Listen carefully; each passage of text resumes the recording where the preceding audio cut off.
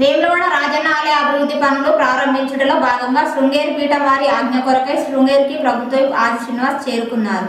వారి వెంట సీఎంఓ కార్యాలయం ఓఎస్డి శ్రీనివాసులు ఆలయఓ వినోద్ రెడ్డి దేవాదాయ శాఖ స్థాపతి వల్లి నాయకం శృంగేరి పీఠం తెలంగాణ బాధ్యులు రాధాకృష్ణ దేవస్థానం అధికారులు అర్చక బృందం సభ్యులు ఉన్నారు.